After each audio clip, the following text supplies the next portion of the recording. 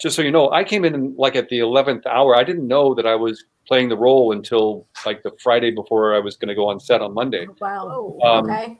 I had been told I was up for being a stand-in photo double. So I imagined they needed George in multiple places at the same time.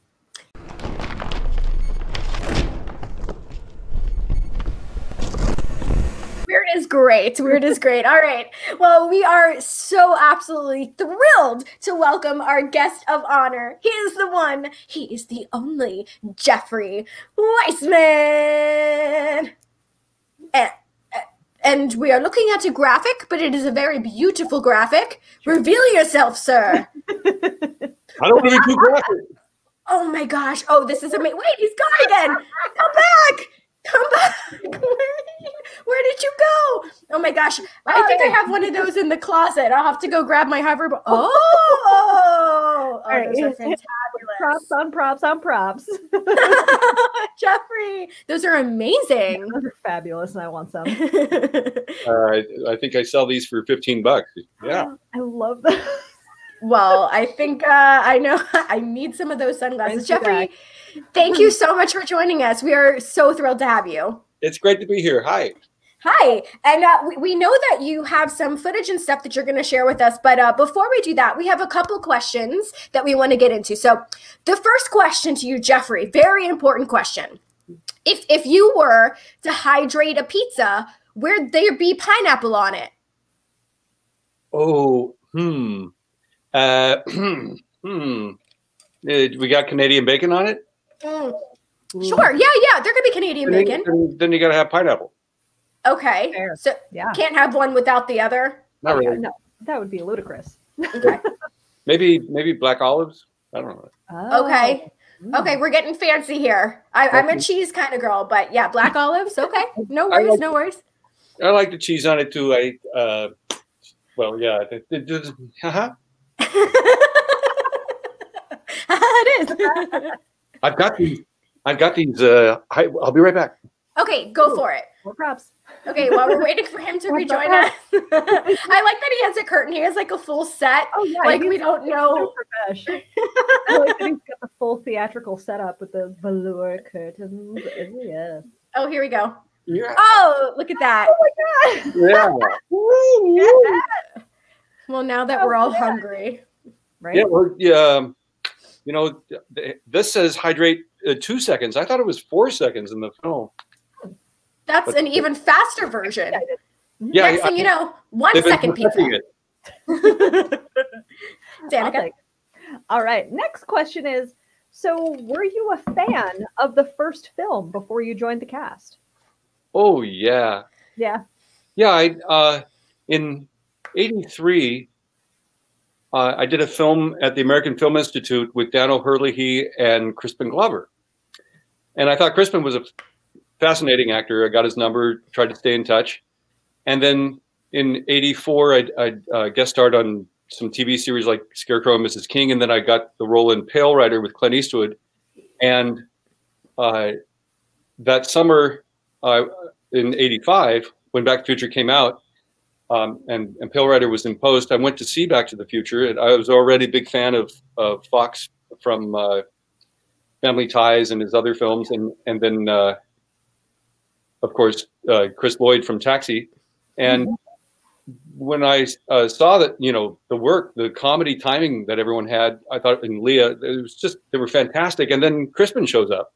I was like, hey, I know that guy. And I was really proud of him. I thought he was, uh, you know, knocked it out of the park. He was nailing this wonderful, kooky, off uh, balance, nerdy guy. Um, so yeah, I was I was a big fan of the first film. awesome. I Awesome. mean, we obviously all were too. yeah, definitely. Okay, But so have to connect some more. Yes. Okay, so uh, maybe an interesting question for you, Jeffrey. So I am a theme park enthusiast, and one of the things that still pains me to this day is the fact that for some reason they decided to get rid of the Back to the Future ride at Universal Studios. I don't know who I need to write a letter to, maybe Mr. Spielberg himself, whoever I have to contact. I So- worked, worked for Universal for years, uh, from '87 to 2001. If if you went to Universal in Hollywood and you saw Stan Laurel or Charlie Chaplin or Groucho Marx and had your picture with them, it might be me. and and I did the groundbreaking for Universal Florida, and I directed a couple shows, the Blues Brothers and the um, doo-wop show out at uh, Mel's Diner in Japan at USJ, Universal Japan. And then I also taught all the lookalikes and the fuzzies, uh, you know, how to work a theme park. And I remember, you know, they did. They, I think these the new young execs that come in, uh, you know, it's always a constant power struggle between the the mucky mucks there. It seems, and uh, you know, if they they deem something's hotter in the moment than yesterday's ride or show or whatever, they they butt heads and whoever has the more, more clout trumps them. Oh, I don't mean to use that name. Um, and they, you know, they have their way. I remember, you know, uh, there, there there was like the Century Oak on the Universal tour in L.A. that disappeared overnight, and those are protected trees, and they wow. took that down overnight. I was like, where did that beautiful tree go? It was like a 300 year old tree and that's where they put the Back to Future ride in, which now has become the Simpsons ride, which is probably going to change into yet something else. I, you know, yeah. What the, whatever is fresh, whatever is happening, you know, that's what they got to be with, and it's kind of unfortunate. They mm-hmm. they've really lost some some of the old Hollywood charity, you know, would they do tributes by having Charlie Chaplin in the park? I don't think they have Charlie anymore. Or, you know, no, I, I, I think I've seen Marilyn Monroe recently because uh, I'm not I'm not too far from Universal Orlando, so you know we, we popped down there a couple times before before COVID happened. But do you have any recollections of the ride at Universal Studios or getting to experience? Well, you know, one of the one of the first things I looked at was you know I was, while I was in the line taking the ride um, was uh, the the little pre-show videos that they'd show, and I remember mm-hmm. they you know, Dr. Brown's Institute of Future Technology had things like, you know, showing pizza hydrating and so on and so forth. And there were my feet. And I was like, oh, good, I'm in this. hey, I'm going to get a, some money, some residual or something. And then I think I was there was a little bit of me in another quick shot, and I was like, yes, I got to get some money. And I waited and waited, and no money ever came. So I I wrote the Screen Actors Guild. I said, I think I'm owed some money because I'm in the footage while people are waiting in line. And uh, they went to Universal and Universal came back and said, no, no, well, he's not in there. And I was like, yes. And I, I went and videoed it and showed them. And so that's my feet. I'm hanging upside down. That's me. And uh, eventually um, the union kind of sided with Universal and said, oh, it's considered an advert promoting the film. I was like, no, it's helping tell the story of the ride. come on. And by then they'd cut me out. No way. Well, you know, it's theme park. What are you going to do? There's a when I started at Universal 87, I think we had three bosses. There was the main boss and a couple assistants. And that was it for our whole entertainment department. By the time I left, there were about 20 bosses. Oh. And yeah. and middle manager. It was it was like uh, everyone trying to they kind of complexify, complex, uh, make things harder, make their job mean something by making things difficult. It was like I gotta go. Anyway. Yeah. yeah and i mean like so danik and i you know we we love the simpsons but i just think that there's something like we want the classics you know yeah. we want to live these these things that we grew up idolizing and watching i mean it's hard I, I love that ride but i i actually got whiplash a couple times writing it yeah, I won't. Yeah, that's exactly. Well, yeah. I, you know, they, they take out the ET ride. They take out you know all these. Uh, you know, it's it's a turnover thing because they're following like your show, pop culture. Right. They want to know, they want to know what's happening and go with it and right. be be in the now. I, I think ET is the one ride that they're not legally allowed to touch because then Steven Spielberg said he would pull all his properties off the park. So that that's the one that I don't at least in in Orlando that's not going anywhere. Yeah, I think they closed it in Hollywood. Uh, yeah. What's happening? My childhood. Uh, I'll be right here. Thank you.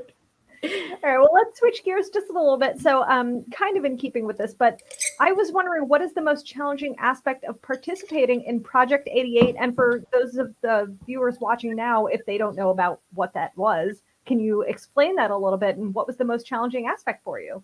Yes.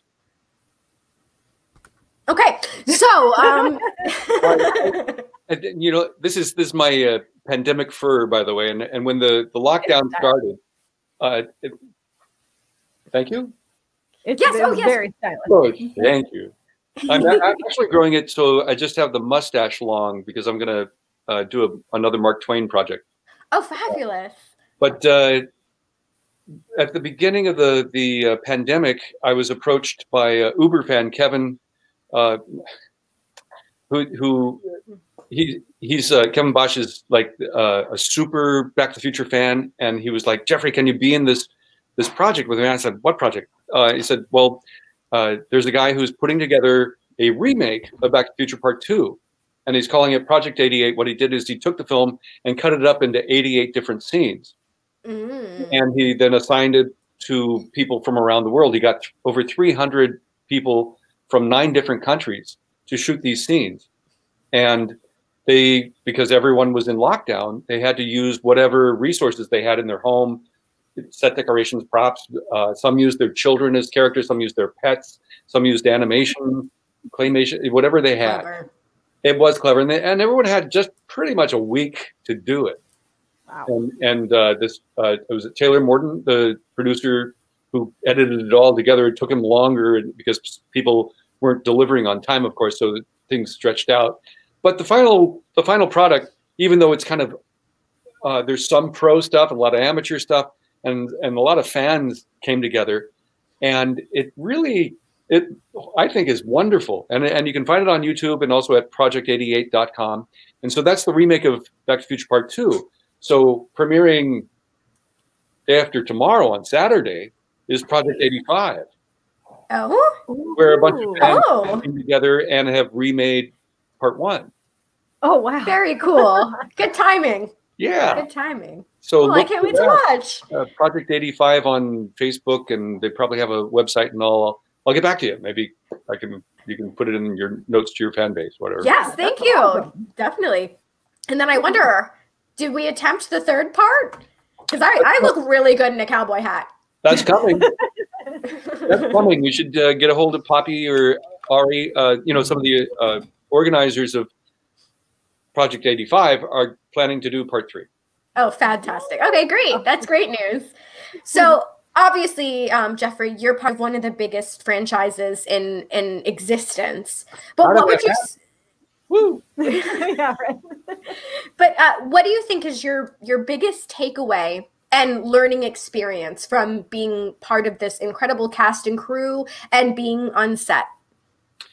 Well, uh, hmm, there's a lot of takeaways. That's a kind of a loaded question because there's so much controversy with what I did.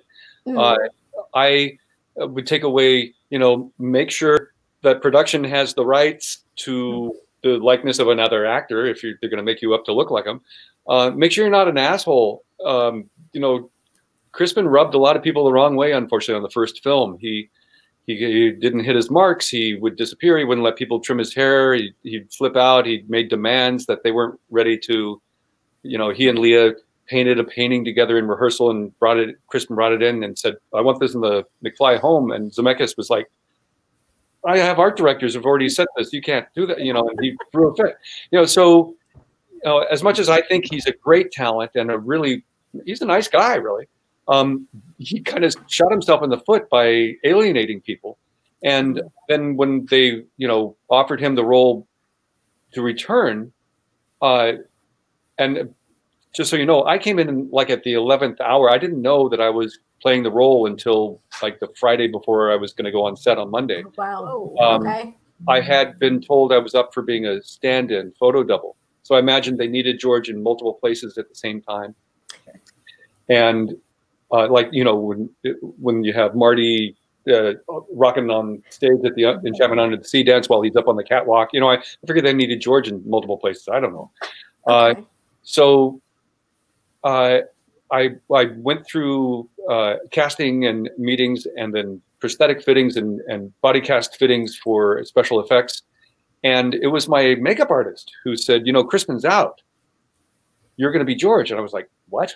and, and I, because I couldn't imagine them making the film without him. Hmm. And I figured because the star was rising you know, from River's Edge and uh, other films that he did some really great work in, that uh, he couldn't get out of another project, uh, timing wise. They just wouldn't hold production for him. Uh, little did I know, uh, you know, because they because he wouldn't, and a lot of people say, you know, oh, they hung him upside down to obscure that it was a different actor. And I was, that was not the case. I actually recently learned um, because Crispin wouldn't hit his marks, he'd overshoot them for camera. They huh. wrote it to uh, that George had his back uh, knocked out while he was golfing on the uh, golf course by a flying car that fell out. So I had so Crispin uh, George is hung upside down through the whole thing, and that way Bob Z and Bob G Bob Gale have him on a track, and he cannot veer from that track. He'll be set on those places so camera will always have him in focus or in frame. Ah. How clever! Yeah. Yeah. Well, I ended up, of course, taking that torture. Uh-huh. And, uh, and, and also Crispin, I think uh, even though I know he wanted a million, I think they offered him a hundred thousand or whatever, uh, but he also wanted script approval, and I don't think they were going to give him that. So he kind of tied his tied their hands. Uh, unfortunately, I was kind of in the middle of all this, and I didn't, yeah. you know, know really until while we were shooting. Uh, Spielberg came up to me at, while I'm in the body cast to do the spinning for pizza shot, which is cut. It's in the deleted scenes um, Spielberg said, "So Crispin, I see you got your million dollars after all." and I was like, "Oh, oh no." oh dear, what what's going on here? Wow. So it, was, it was kind of hurtful to me because uh, you know I was a fan and a friend of his, and then being on this huge film was so exciting for me, and I I love being a part of that ensemble and the great talent. But at the same time, they also wanted to keep me a secret, so he didn't sue of course, he how could he not? They made me in the prosthetics to look so much like him as young George. So uh, you know, he called me after part three came out and said, you know, what they did to me was unfair, and I said, yeah, I think so too. You know, and uh, so he he got his three quarters of a million in an out of court settlement, and and I get to be a part of this trilogy. And even though they tried to keep me from promoting myself by withholding footage and, and photos and stuff, uh, I ended up, of course, being discovered by the fans, you know, mm-hmm. with reunions and DeLorean conventions and so on and so forth. So I guess my best takeaway is trust the fans to appreciate you. Hollywood, they don't really care. Fair enough. Fair. yeah.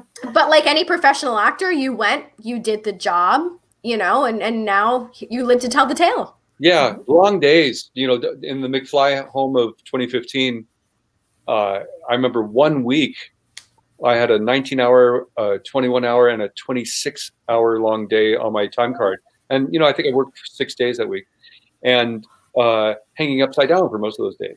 Wow. But how was craft yeah. services? Was it good? they serving you good food at least? Oh, you know, the food was, was darn good. Uh, the, the crew was magnificent. I had, you know, special handlers from ILM for, for my effects and, took good care of me. Uh, everyone was actually very nice and very wonderful to work with. I, I rarely saw any friction. You know, Ken Chase uh, mouthed off during uh, first day of shooting, or yeah, uh, to you know when AD came in and said, "Well, when's he going to be ready to, with my makeup?" And uh, and Ken said he'll be ready when I'm done with him, and he got fired. You know, you don't mouth really? Off. Oh, you know, it, it happens. You know, wow. people people get cocky or whatever. You know, it's you just do your job and and make the best of it. And because it is a team. I mean, those days that we're working into the 24th hour or something, you know, people are fried and doing their best and running on fumes and stuff. And and it's mainly mainly because either a special effect isn't going right that you're there, or uh, you know, we're waiting for Michael to switch character makeup and costume so we can get that last shot with so the special effect for him playing three three roles is precise and, and works. You know, it's uh, people, you know, got to work together and got to support each other. If, if you're going to, uh, you know, be ornery, you're going to pay for it. And, and, you know, I pay for kind of speaking out. They, yeah, I won't go any further with that. Oh, okay. but I get to do these reunions. This was a shot from uh, the, our first reunion in 2008 at the Hollywood Show. And it, How it fabulous! yeah. Oh, I love this first, so much. first time I saw Michael, you know, with his uh, Parkinson's, uh, the effects of his disease on him, and it really was upsetting to see it up close and personal because Michael's such a great guy, and uh, it's so heartbreaking that the, the, the disease should pick on him.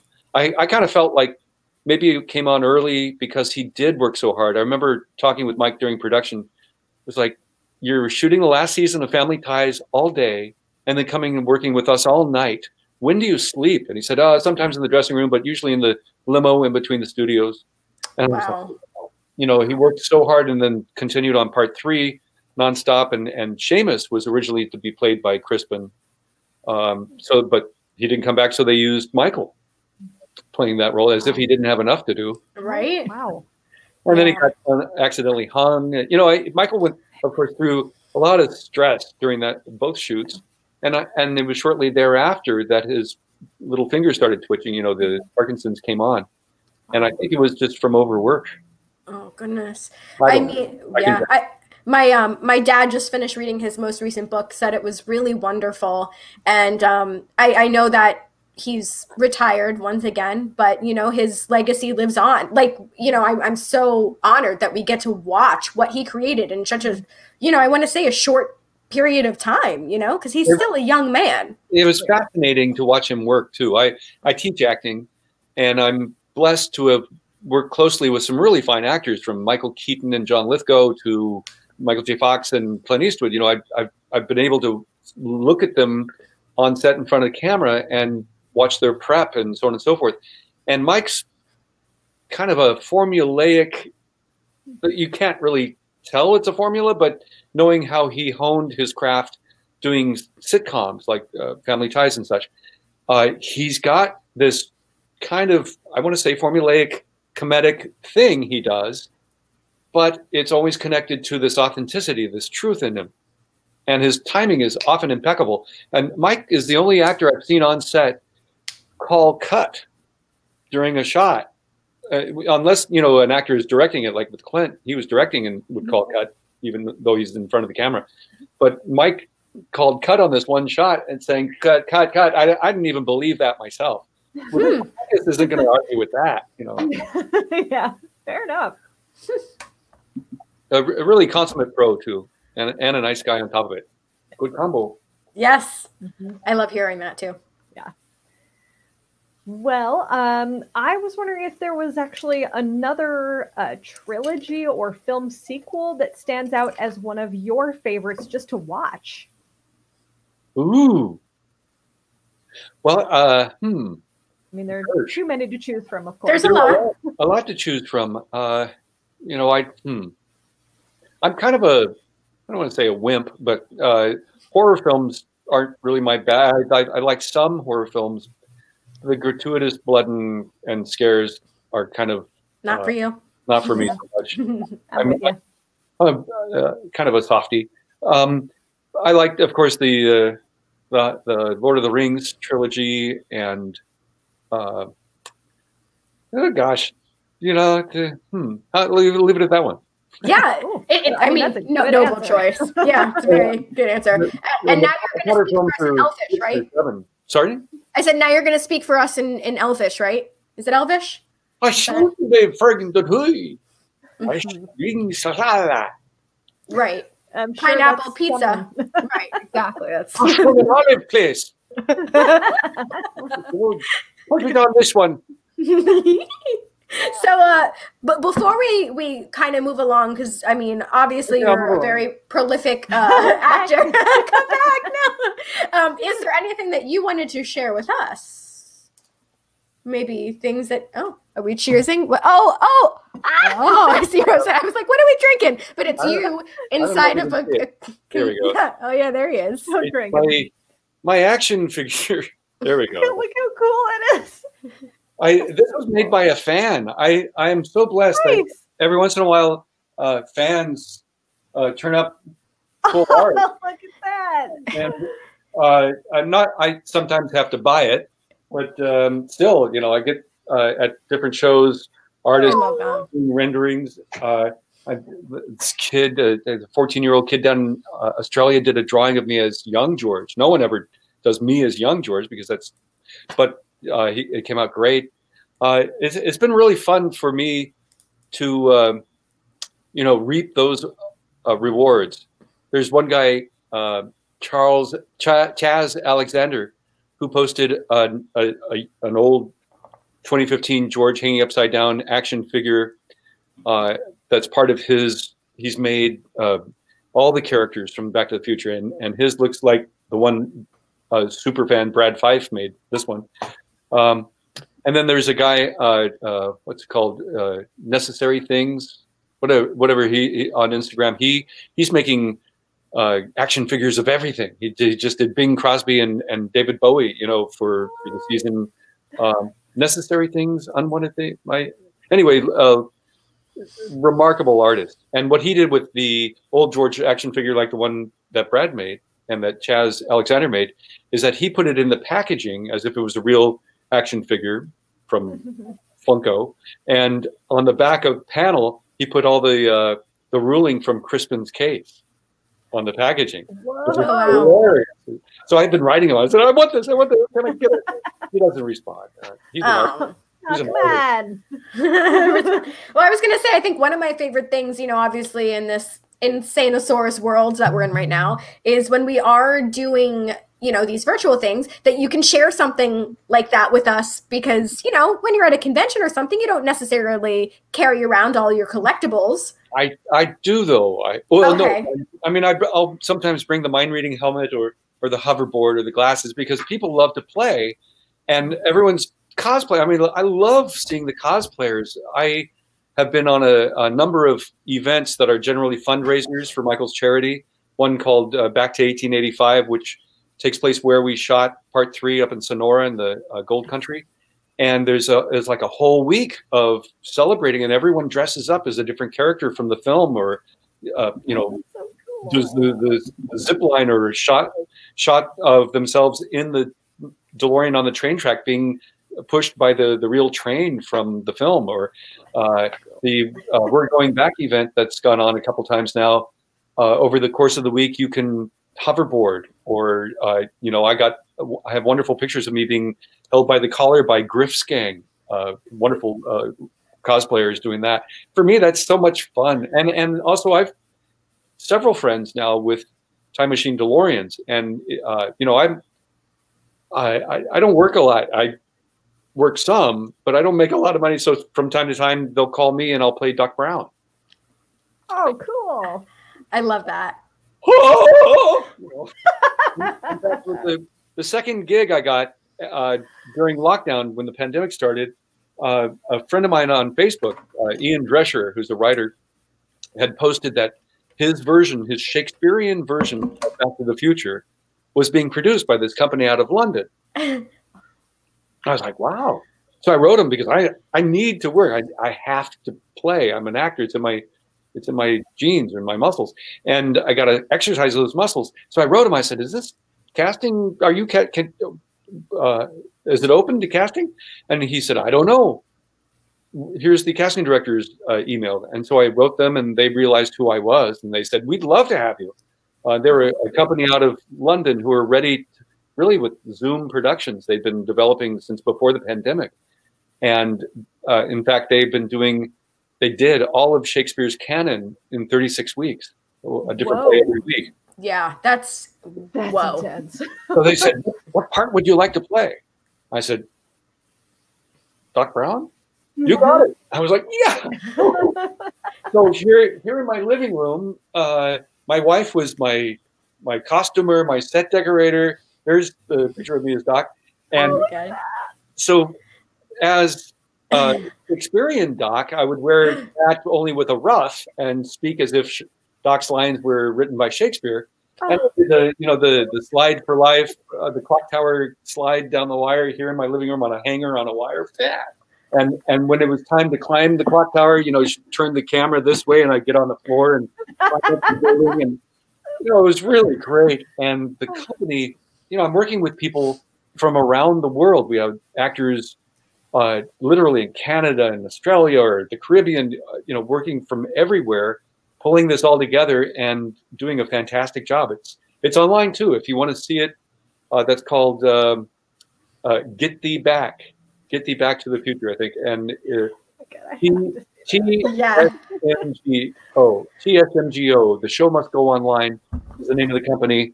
They did a uh, a non-binary Ooh. female cast of the Scottish play. The, the Uh-huh. Wait, yes. it came out fantastic, and they've learned how to use Zoom by you know y- I- it- put your own hands on your neck for a second, and ah, I'm, cho- I'm choking you now. You know, there we go. Ah, go. Ah, you. See, they're, they're figuring out how to do fight choreography through camera through Zoom That's brilliant. Mhm. and kissing, uh, you know, and, and, and they're doing a really great job, and it's it's lovely to see. I've been sharing it uh, some of those methods with the Actors Gang out of uh, you know, Tim Robbins' group in in LA. They have the Cabinet of Oddities that I've joined a, a few, and and I've been teaching them some of those tips too, and it's coming along. It's really fun. Fantastic. Oh, that's so wonderful. Uh, so before we move on to maybe another um, project, I wanted to briefly touch on the um, the makeup process that you went through in order to fully embrace and become George Yeah. McFly. Well, uh, I tell you what, I'll show you uh, some of that. Okay. I have um, footage from the making of documentary. Let's see it. Uh, well, give me a sec because I gotta I gotta set it up here. We're on your time, friends. We're we're Well- good. Okay. Uh, so are you seeing my desktop? no. Let's no, There, now we are. you are now. Yes. Okay. So let me uh, pull this back. And make it full Yeah. screen if you can. Yes, ma'am. Please. right. Perfection. So uh, this, you know, like I said, they were trying to keep me secret, and so this was all footage that was in the making of documentary that was cut. And here you can see in the foreground Nancy Vasta and Sonny Berman in the uh, yellow shirt of the Berman brothers. His brother produced all the Star Trek Next Generation, all the Star Trek offshoots, makeup family legends. Um, really lovely people in the background there. The redheaded guy is uh, Mike Mills, who was the foreman on Beetlejuice. Like I think that's Kenny Myers, whose back is to us, or Marvin Westmore. There's Lea. You can see Lea in the next chair over. So it took us. If I wanted to be on, uh, my call was to be on set by 9 a.m. I'd have to be in the makeup chair probably by 4 a.m. So uh, you know, I'd have maybe makeup applied for two and a half hours or so, and then take a half an hour, 45 minute break for breakfast, and then come back and then get my my hair and colored and so on and so forth. So it was uh, basically four hours a day to get into that makeup. Holy heck. Wow. And and what about the process of removing it? Was that a quicker process, I would hope? It was a quicker process, only took an hour. Mm-hmm. It's still a fairly long process. Yeah. Okay, so how many pieces were applied? I'm seeing a chin prosthetic, it's looking like. Yeah, you can see the chin, the neck, uh, the skull cap. Uh, I think I had my own forehead. Look at you. Yeah. Oh my goodness. a little creepy. my, my Freddy Krueger lip. yeah. Way less scary than Freddy. So you see, they were kind enough to let me stretch once in a while. Here's is Mike Hill uh, touching me up for uh, young George.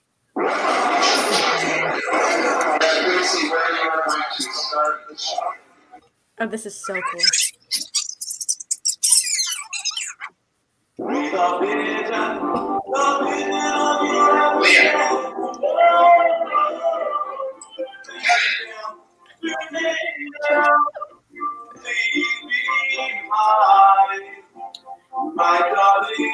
Yeah, I felt sorry for Lea having to kiss the mat.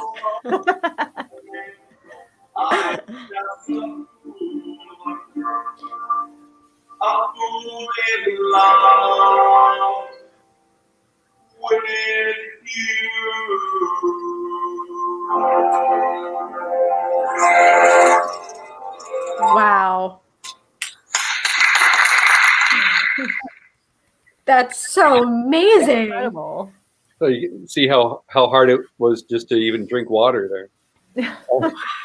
Gosh, That that's that is extensive. yes. Thank you so much for sharing that. Yeah. Sure, That's sure. I, Really neat. I like to get it out there so people can see, you know, what I had to go through. And and uh, during those, you know, uh, Enchantment Under the Sea dance re- remakes, remaking that scene, uh, all the early takes when uh, we'd have to do our business, Zemeckis would would call uh, Crispin.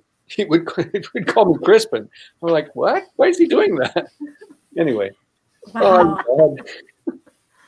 I, I think I mean like Danica and I like that's something that she and I like are really into is like special effects makeup. Like on Tuesday we actually had two people from the show Face Off, um, Mhm. which is the special effects you know competition show on here, and so I'm just so like I think that's so neat that you got to go through. I mean I'm sure sitting there for four hours at a time isn't the most pleasurable experience, but it certainly paid off. So Well, yeah, and, and it's it was kind of the uh, price to pay to, you know, uh, to be in the in the show. You know, I, I just you know took it in stride as best I could. I remember when I did my screen test, they wanted to see if that young age makeup was working, and I remember Bob Gale, or no, it was Bob Zemeckis and uh, Dean Cundey, the cinematographer, were at my test, and and Bob Z asked Dean, "What do you think?" And and Dean said, "I think we got Crispin without the trouble." And okay. Uh, but shooting right next door was uh, Warren Beatty uh, directing Dick Tracy, Oh. and William William Forsythe came over as uh, was out uh, hanging out the trailer uh, as Flat Top, and and who else was there? Was it Dustin Hoffman as Spoonface? Anyway, a couple of the, those actors were there, and I was looking at their makeup, going, "Wow, this is incredible!" And their the costumes were so bright and everything, and they were looking at me saying, "What the hell are you supposed to be?" really nice give and take. okay, so um, as much as I hate to segue away from uh, Back to the Future, I think we shall. Uh, and one of the things that we had, um, one of the things that we had spoken about before we started this today was one of my favorite artists of all time, who is Alice Cooper. And you have the opportunity, what is it, to be brainwashed by a Mr. Cooper? Can you tell us about that experience? Yeah, I think I sent a photo of me, although it's not a great shot. Uh, well, you know, my, my parents never wanted me to be an actor. Uh, they they worked around a lot of actors, and uh, my mom was even a bail bonds woman and bailed Lenny Bruce and other celebrities out of jail. And so they, they knew what a lo- tough life that could be. Uh, um, but I was determined to do it. So right out of high school, finally on my own, uh, I signed up to do uh, kind of background work on films, just to get on big studio lots. I wanted to see what it was all about, and instead of just making films with my friends at school and such. So uh, I signed up with this company that sent me to play uh, Strawberry Field's brother in that big balloon scene in Sergeant Pepper's Lonely Hearts Club Band. Mhm. And uh, and you can't really see me at all in it. It's you know the focus is mainly on Peter and, and the Bee Gees uh, taking off in the balloon. But then I got called back to do another scene, which was the "Got to Get You Into My Life" concert scene with Earth, Wind, and Fire. I thought, wow, this is kind of cool. I've always wanted to see Earth, Wind, and Fire. And uh, so I'm 18, right? And I get a call. They they want you back on the Sergeant Pepper's. I'm like, great. And it looks like it's gonna be multiple days. I was like, really? What are we doing? And it's, well, you're gonna get brainwashed by Alice Cooper. I was like, Yeah. I, my sister and I, you know, we had the Killer album and used to dance our butts off in our bedrooms and and uh, just loved it. You know, all through Billion Dollar Babies, and I, I was a big Alice fan when I was uh, in those days. I, I kind of lost it around Muscle of Love. I didn't. I- oh, okay. from there on, I stopped following Alice so much. But on uh, Sergeant Pepper's, uh, you know, uh, worked three days on this one scene where I'm sort of dressed as like a Boy Scout with a bunch of other uh, uh, dancers, mostly dancers that we're we're uh, working with. We had these little stupid uh, movements, you know, with while Alice is up on the big screen singing, and there are two two dancers on either side of the screen that Alice is on. Alice isn't there in person, but he's on the screen. So I figure he's in another studio being projected in or something. Um, and I, I was, I was really kind of, you know, crushed. Like there I am. I'm, I'm the Ah. second one in there. Um, and and there was this blonde dancer who I thought was so cute, and I, I kind of asserted myself and introduced myself and started hanging around her. And by the second day, um, she and I went to lunch off off the MGM lot, uh, and she bought me a beer. You know, I it's only eighteen. I was like, oh, this is cool. And was kind of you know crush like on her. And uh, the third day, you know, the rumor was going around. Alice is going to be here today. Alice is going to be. I was like, far out. So first thing in the morning, after getting on costume and makeup, I I go and I find this girl Cheryl, and I I go right up to her at the front of the set, and she's like, Jeffrey, hey, I want you to meet my husband, Alice. hi. I had a feeling that's where it's going. I love that so much. And they're still together. I mean, it's just like they oh, are so wonderful. glorious. Yeah, and Cheryl, Cheryl's so kind and wonderful and sweet as well. Yeah. And I've, I've run into Alice a few times. Um, I uh, went to high school with Terri Nunn of Berlin, Mm. and uh, even dated a little bit. And uh, she invited me to be in uh, a couple of the rock videos, and then came and I sang on their background on their third album, Count Three and Pray, I think it is. And uh, and Alice was in the studio right next door. And so I went over and I said, "Hey, uh, do, I, I, do I call you Vincent?" I said, Alex. Alice. Alex. I, and I tried to, you know, bring up uh, uh, Sergeant Pepper's, and I was like, I can't go down this road because it's because I'm crushing on his wife. You know, I had the same thing happen with Donna Dixon uh, on Twilight Zone movie. Uh, she had just broken up with whoever she was dating from Kiss, and she and I hit it off right right away. And she really confided a lot in me, and so on and so forth. I was out on the outs with my current girlfriend. I was like just about to ask her to go out, and I think it was at the wrap party of that she met Dan Aykroyd, who she's still married to. You know, I, my timing.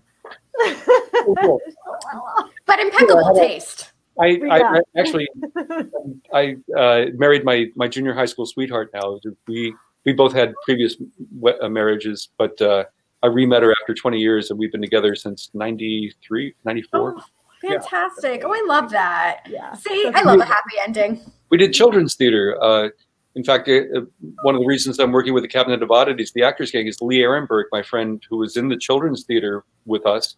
Uh, helped found the Actors Gang with Tim and my friend Ron Rosen and such. Oh, So cool. lovely. Yeah. So, uh, Danica, why don't you ask one more of your questions and then we'll play the game? All Uh-oh. right. So, um, being that I'm also a, a big theater person, I'm a, a director by day. Um, I have to ask you a little bit of uh, some sort of nerdy theater stuff here. So, uh, I've I've noticed that you are a fan of Commedia. Commedia dell'arte. Sì. Oh yes, I- even so my my big question then Mhm. is um i mean not everybody of course knows so commedia with uh, all of the stock characters where we get like punch and judy and, and i mean you name it comedy comes from commedia so Commedia. either way you slice it so i was curious what is your favorite commedia character to teach or play or Well, so for, for folks who don't know, Commedia started 800 years ago. The the church forbade uh, theatrical productions. The theaters were all closed down. The only way you could do a, a stage show was if it was a morality play or passion play. Mhm. And after several hundred years of that, uh, the Italians said enough already, and they started performing in the streets off their carts and creating these stock characters, of Pantalone and a Arlecchino, and so on and so forth. And those stock characters that have corresponding masks, uh, I have a few in the other room I could get, but um, How cool. those those stock characters have come down to us. If you look at like Gilligan's Island, Gilligan is Arlecchino, Skipper is is Capitano, uh, uh, Thurston Howell is Pantalone, uh, Ginger is is uh, uh, what's her name um, Cortazania, uh, and and uh, you know Columbina could be Mrs. Howell, I guess, but there and the professore is the professor. You know, uh, El Dottore rather is the professor. So and and in SpongeBob SquarePants, you know, Mr. Crab is who likes the money? Pantalone. You know, uh, so I guess I, I like uh, so many of the characters. Hard for me to, to pin one down. I've I played Arlecchino. I played Pedrolino, who's the Arlecchino of the Moon. I've played uh, uh, uh, Pulcinella. Pulcinella is the hunchback with the tall sugarloaf hat. Who uh, his his name Pulcinella Pitrullo translates the stupid little chicken. Uh, and they, they all come from different regions regions uh, or originate from different regions of Italy, and of course those regions th- think their characters are better.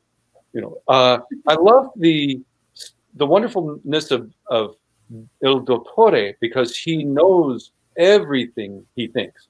And he goes on and spouts for hours and hours and hours about everything, but he's speaking mumbo jumbo. It's so fun. Uh, and Pantalone, who you know is money grubbing and is always you know flirting with the ladies and thinks he's lecherous, he's nasty. He's a let go.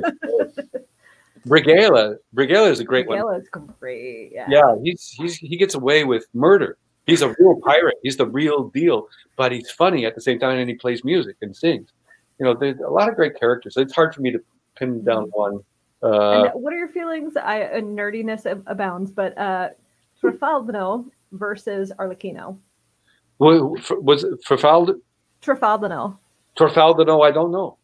He's don't know basically yeah. So. I I recently recently three years ago directed um, the Servant of Two Masters, which is um, basically a love letter to Gladia. So so Truffaldino Truffaldino is like is the lead of. Oh, that. I see. I see. Okay, Mhm. I, you So know, I basically Arlecchino. I saw the uh, Piccolo Teatro Milano. You know, the the troupe that Dario Fo and and uh, Jacques Le- Lecoq uh, Mhm. started in Milan. They came during the '84 Olympics, and then they came again and did that show. That that Oh, they've been doing Fo. For over 60 years, and they did that show in Italian. And it, you didn't need the translation; you understood everything just by the way they performed in their physicalizations. It was delicious. Uh, but I, if I knew more, I—you know, I don't know. I think Arlecchino's the the winner on that. Mm, I like it.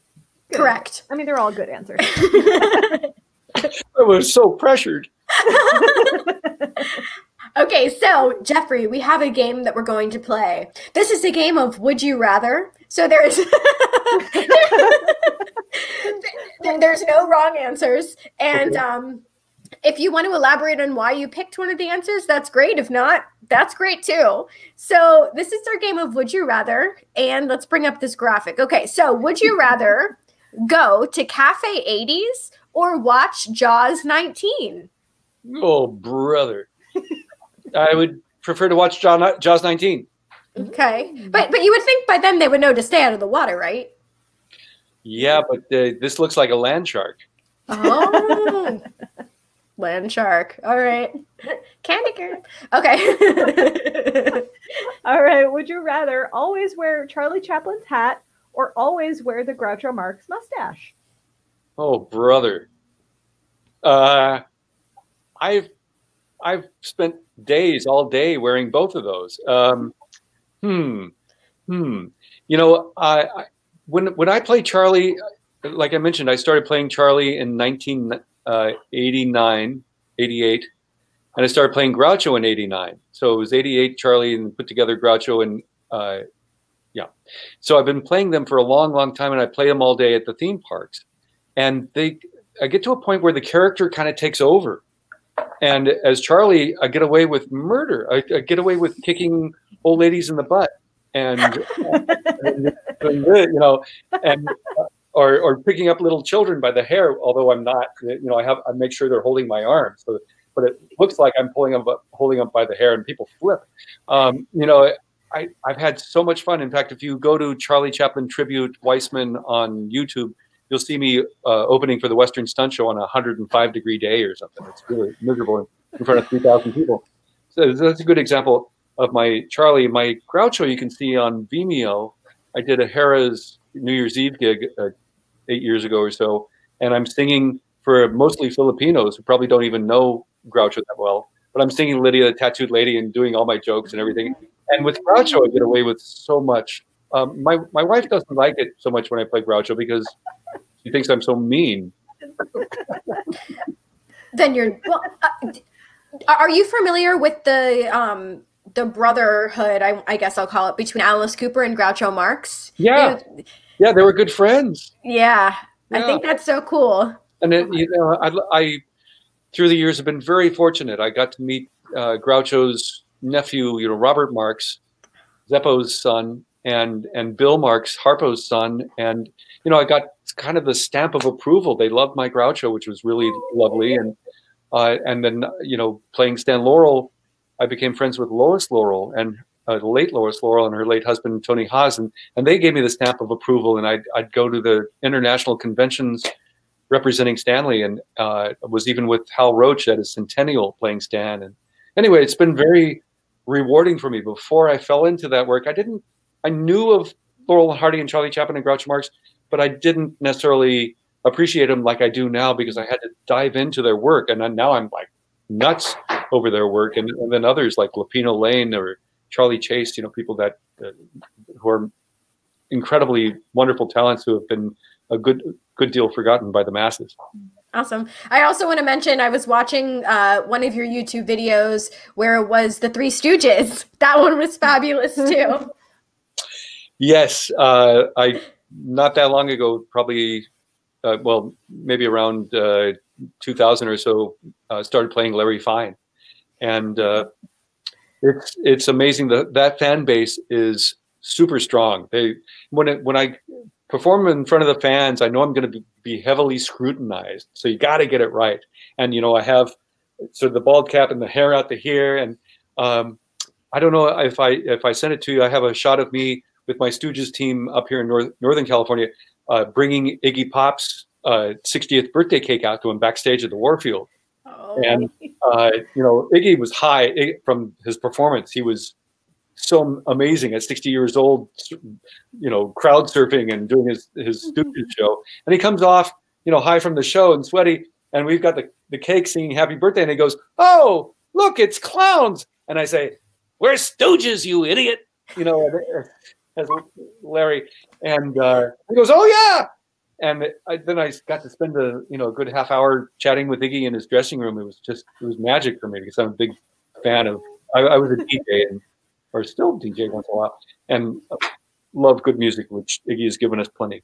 That he has. Oh man. Okay, here's the next. Would you rather? Would you rather live in a Big Brother home situation with the cast of Pale Rider? Or live in a Big Brother home situation with the cast of Back to the Future Part 2 and 3? Uh, can you, point of order, uh, Big Brother situation?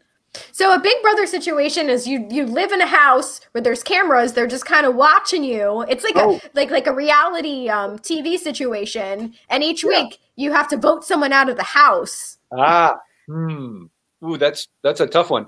The you know Pale Rider, we got snowed in by a blizzard during that shoot on location on per diem, and people like Chris, their late great Chris Penn you know, kind of went off his nut at one point, and Clint had to bail him out. Michael Moriarty quit the film at one point because he broke fingers that shouldn't have gotten broken, and Carrie Snodgress almost quit a few times. And like that was that was a wonderful, wonderful cast to play with. But uh, and and uh, I think I would probably go more Big Brother with the Back to the Future cast because they seem a little more. Um, I want to say tame or uh, not. Uh, yeah, I don't know. I love both casts, and you got Fair me on. Enough. Fair enough. Good. Yeah, you, you, you, just you can't vote out Clint Eastwood. Like you just yeah. like he's. so you know, we talk about catering. Uh, Clint uh, fired the caterer. I remember early into the shoot out there in Idaho on the mountaintop, and the next day I, I had uh, just flown my ex-wife in uh, to visit while we were shooting, and a blizzard hit us while we were shooting with a new caterer on top of this mountaintop. And it was just Clint, my ex-wife, and I having lunch together. And the new caterer was serving steak and lobster in the middle of this blizzard. Sounds delicious. That was good catering on that.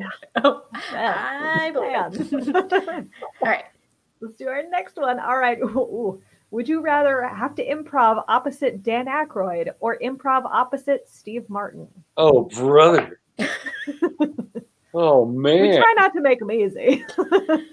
I think I would probably want to uh, opposite Dan Aykroyd because Steve likes to drive. Mm. I think Steve mm. likes to win in improv. Yeah. And, okay. it, and and Aykroyd doesn't need to win, and when when no one's trying to win, it goes mm-hmm. a lot farther and has better story. Ooh, that's a good point. Ooh, yeah. yeah. I, yeah, all unfortunately, right. we didn't get it get it get into all of the uh, the improv stuff as much as yes. we would have wanted. To. We'll have to do a part two. Oh yeah. all right. Here's the next one. Would you rather live in the Wild West or live in Biff Tannen's future? Okay. I'd take the the Wild West on that one. I don't blame you. Yeah, definitely. Yeah. Okay. Yeah. Okay. Next one. All right, next one. Would and if you you know, rather? if I'm, Yes. Biff, if I'm uh, still playing George and Biffs, I get murdered, you know, or I'm dead already. yeah, Well- no, it's not ideal. All right, our next one. Would you rather swim with sharks or go skydiving? Can I skydive with a shark? That's Um, Jaws 20. Mhm. Uh, I think I think it's going to be skydiving. I think it's skydiving, uh, but my acrophobia is not pretty. Um, and even even if I'm in a cage around the sharks, it's still gonna. I, it's got to no. The water's going to get a little warm. Okay, fair enough. I mean, I'm, I'm right there with you on both counts, so I wouldn't have Push, an answer. push me out of a plane. Here we go. All right, here's the next one. Would you rather I guess being underwater, being underwater, you, you would see the yellow. Uh, skydiving, you wouldn't see me see my pants so much. Uh, yes, of course. People that are dropping after you might. the all important pee pants factor. Okay, uh, would you rather star in a reboot of the first movie you ever remember watching, Ooh, star in a sequel to the most recent film that you watched? wow. Hmm. Probably the reboot, because I, I want to say uh, when I saw the Seven Faces of Dr. Lao, I was really impressed with what Tony Randall did in it, playing all those roles, and it freaked my shit out. I remember having uh, nightmares over it, but I would wouldn't mind the challenge of playing all those multiple roles in that. That was so. If you haven't seen it, it's quite wonderful. The the last film I saw uh, was was a, a Sir Derek Jacobi in The Fool, which is a period piece, which I love as well. Um, but I, I kind of do that at the Dickens Fair when we're not on, in a pandemic, Mhm. playing Fair. Victorian characters. Well, All right, I think this is our last one. All right. Would you rather have a time traveling DeLorean or have a time traveling train? Oh boy. Probably the time traveling train. All my DeLorean owner friends are probably going to be pissed at me, but the, the train has got uh, hopefully a, a dining car, uh, more room to move. I'm a, I'm a little claustrophobic. You saw that picture of me in the DeLorean monster truck. Mhm. I, I was able to handle that, uh, and I can handle a DeLorean if I'm driving. I found out a friend who owns one finally got me behind the wheel of one, and I was okay. Otherwise, I feel claustrophobic when that wing comes down. I'm like, hey, I gotta go. So the train, and then maybe we'll get some good catering, some steak and lobster. Yeah, that Yeah, that's like a Clint. good point. If if you have me back on, I'll talk about Twilight Zone movie uh, and how my cla claustrophobic how, how my claustrophobia uh, was developed there. In Oh, addition good. to some other from cat scratch fever. Oh, good. All right. I mean, we we would love to have you back. Uh, I mean, we just Yeah, hit an okay. hour. This, of course, flew by. We barely scratched the surface. But I guess before we wrap up, let's call it part one, Jeffrey. Yeah, Is so we're going to talk about Igor. Okay, forget it. No, let's talk about Igor. We have listen. If you ain't got nowhere to be, let's talk about Igor because you know, young Frankenstein, if I'm pronouncing that correctly, is another one of Danica and my favorite films. So, um, have you, along your um, journey, have you ever had the chance to meet Mel Brooks in person, or um, just out of curiosity? Uh, I met Mel about four, four or five times. Look at that picture. Oh, that's so good. Um, I, I was I was doing a show in Hollywood when I, when I was uh, still a senior in high school, and I ran into him at a restaurant. I even sat. I was bold enough to sit at his table without being invited. That was so that was so stupid of me, but I was so impressed because I wanted to tell him a story that I had completely forgot because I was starstruck. Does that make sense? Um, Uh, yeah. we know the feeling well. yeah.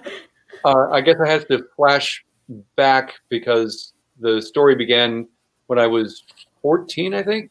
It was in 70, I want to say 74 or whatever. Um, I, I had heard Mel was in, in our neighborhood shooting a film. And uh, so I didn't, rather than take the bus home, I walked home. And uh, uh, through the Santa Monica Promenade, I started seeing people in Victorian evening wear. I was like, oh, this must be the film. It must be around here. And I was doing shows, uh, you know, in junior high and high school already, so I could recognize actors pretty much. And there was one gentleman in a top hat whose whose mustache was flapping. I was like, "Excuse me, sir, your mustache is coming up." And he goes, "Oh, is it? Who are you?" I said, well, I'm an actor. And he says, "Really? Tell me what have you done?" And I said, "Well, I was in Merchant of Venice. I was in Dark of the Moon. I was, you know." And he said, "Really? Uh, you want to meet Mel?" I said, "Brooks, yes." Said, "Come with me."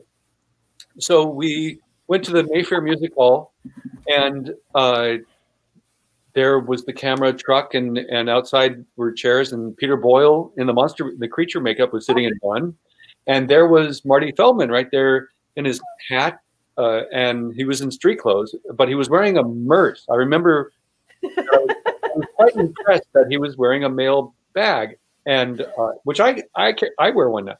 Um, and, and and I used to watch you know the Marty Feldman show, and so I was just thrilled to meet him and meet Peter Boyle and his the shades of green of the creature makeup. I thought was incredible. When it came out in black and white, I was like, oh no, you can't see the wonderful green. Anyway, so we go inside where Mel is um, directing the putting on the Ritz number. And uh, and my friend, who I became friends with, this this extra, this uh, professional extra named Ray Wallach, whose mustache was flapping. Uh, he says, "Mel, Mel, you got to want to meet this kid." And, and and Mel kind of goes by and says, "I have no time for kids." He went. Well, so uh, a number of years later, um, while working at, at Universal, no, it wasn't a fanny pack. Uh, it was a murse. It's like a, a, man's purse. We have to give a shout out to Charles, uh, our friend Milo Beasley, who also hosts one of these shows. He is a mega, mega, mega Back to the Future franchise fan. So I know he is excited to be all. watching this right now. yeah. Ah, there it is. It's one of these. Oh, that is a good looking murse. Yeah. With leather. Yeah. Yeah. Stylish. I like it. So uh, while I'm working at Universal uh, uh in '83, I worked on Johnny Dangerously with Michael Keaton, mm-hmm.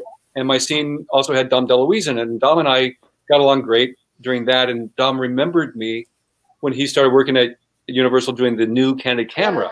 And when he saw me as Charlie Chaplin, uh, he flipped. And when he saw me as, as Groucho or, or uh, Stan Laurel, he flipped. And he insisted that my partner and I, as Laurel and Hardy, would always warm up his crowd at the tapings of his Candid camera. So then a few years later, I'm at the Silent Movie House watching a Buster Keaton festival, and Dom comes and brings his friends. His best friend was Anne Bancroft, uh, mm-hmm. Mel's wife, and there is Mel and Anne and Dom. And during the break, uh, you know, Anne likes to have her smoke, and I went out there and to say hi to Dom, and he was like, "Mel, Anne, oh, this is my friend Jeffrey you to see Stan Laurel, Charlie Chaplin, Groucho Marx, you think they're there? And and I said, well, actually, Mr. Brooks, we've met before. My Marx Brothers team auditioned for a Robin Hood Men in Tights, and Mel, oh, I remember you guys. I liked you guys. I though had to cut them from that banquet scene because the actor playing Don Corleone asked for too much money. the light went off uh, because I realized that Dom played Don Corleone. And I turned to Dom and I started strangling him because he cost us that job. I freaking love that movie. Wow. so just a few years back, uh, I was offered the role of. Uh, you saw the picture there of me mm-hmm. as uh, Igor, Igor in Young Frankenstein the musical, uh, which you know it's been a while since I tap danced, so I wasn't great at the tap dancing, but I tried to get back on that horse. Uh, oh, my wife says I was great. And I was in twelve. 12 numbers as Igor and, and uh, really tried to do my tribute to Marty and to Mel and worked my tail out. In fact, that, that cast was stellar. Really, really lovely talent across the boards in that, that production. It's amazing. Yeah, I was going to actually say, um, it's probably, gosh, it's so hard to pick like a favorite like script or play or film from from Mel, but my my dad and I at my wedding we danced to um, "Putting on the Ritz," which was like we we started dancing to uh, "Unforgettable," and everyone's like, "Ah!" and then we did a record scratch, and then we did the whole thing, and uh, oh, it was wow. so cute. It was so cute. Gonna go ahead. but okay, so um, I'm gonna take note to ask the next time that we have you on about the Twilight Zone story about your mm-hmm. claustrophobia. I will take note. But before we wrap this up, is there any final thoughts that you want to leave us with here today? Well, it's it's just been lovely. Thank you for uh, you know I kind of nudged and said, "Hey, have me on and, and you responded so we're so glad that you did. This was like you don't understand. This is yeah, very exciting this. for us. We love you. This yeah. wonderful. This is great you gotta, you gotta keep doing what you're doing. It's so wonderful for you know fans who can't get to a comic-con to uh, people who are i mean it's just the suffering the unnecessary fucking suffering that's going on right now. The yes. you know the mm-hmm. stupid administration that's going out that uh, probably responsible for over a couple hundred thousand unnecessary deaths. Um, it's a heartbreaking time right now, and uh, what you're doing is is lightening the load in a way. And and uh, you know, I just pray that everyone stays healthy, safe, and compassionate. Thank you. Thank you. Yeah. And I mean, Danica and I enjoy this because, you know, she's my best friend. She lives in, in Houston. I'm in Miami and we get to virtually hang out all the time now. Yeah you know, more so than now we have to. Yeah. well, I, am uh, probably I, am under. I think I'm contracted to be at Pensacon still. Oh, fabulous! Okay, um, that's February, I believe. At the end of February, of... I, I, I got to get the vaccine before I'll be comfortable. My wife had brain cancer, and she's at risk. Oh, I, don't, I can't bring okay. anything home, mm-hmm. so I, I got to play that gently. Um, and you know, I've had two films and one TV pilot. All you know, the plug pulled because of the pandemic. Mm-hmm. Uh, but I, I just uh, got a grant. As I mentioned before, I'm, I'm growing this out to, to my mustache to, to be Mark Twain again. So I'm developing Mark Twain's American history. Uh, oh, yay. To, uh, to tell history through uh, Twain's eyes. Um, so I'm, I'm developing that to be a Zoom show for uh, homeschoolers and public school kids, teachers who want to use it. Uh, so I'm working on that. Luckily, my first job since the pandemic. That's brilliant. That's, I love that's that. really cool. Yeah. If, if anyone wants to be in touch, follow me on Twitter at JEF Weissman, W E I S S M A N, on Instagram at Jeffrey J. Weissman, on Facebook, Jeffrey Weissman Actor, and jeffreyweissman.com. And I have photos and Pizza Hut wrappers that I can sign, you know, just in time for Christmas. Um, oh, there you go. And I always throw in extras. Fabulous. well, uh, before we wrap this up, Danica, you want to go over our upcoming weeks ahead? Let's we have? do it. All right. So this coming Tuesday, we have Casey Jost. He's from Impractical Jokers. The following Tuesday after that, the 29th, we have Mr. Jonah Ray. From Mystery Science Theater 3000. Nice. On January 5th, we have Mr. Roger Clark. The actor from Red Dead 2. On January 12th, we have the incomparable Jimbo. She is from Canada's or Canada's Drag Race. Canada. Canada. We love our neighbors to the north. and then on January 14th, we've got Mr. Glen Sobel, who we've seen before, and he's rocking. And Jeffrey, he is the drummer for Alice Cooper. Mm-hmm. right on. Mm-hmm. On January 26th, we've got the wonderful Lukas Rossi. Singer, songwriter, and we're hopefully also going to have Icarus Bell. I'm putting it out in the universe. Yeah. If they're watching, we hope they come back. But anyway, Jeffrey, you've been an absolute like saint. You're an angel. We really appreciate your time. Your stories are so lovely. Thank you for sharing them with us. And I had a lovely time too. Thank you for having me on. Thank you. And hopefully we'll see you for part two soon. Love it. Awesome. Um, in the future. Sounds great. All right, guys. Be safe, everybody. Wear your mask, guys. Wear your mask and be safe. Bye, guys. Au revoir.